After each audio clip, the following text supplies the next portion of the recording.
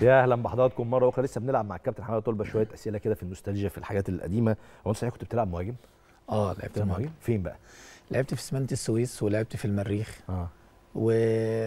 والحمد لله يعني لو كان أي مدرب يحتاجني في أي حاجة في ال...